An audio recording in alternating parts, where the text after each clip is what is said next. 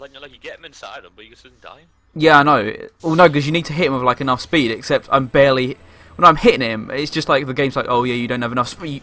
What? What? What?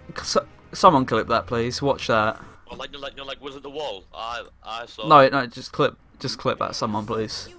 Because that was great. Like literally, I hit the tornado, and the tornado hit me into his um spike, and I killed oh, I him. saw that. What the fuck?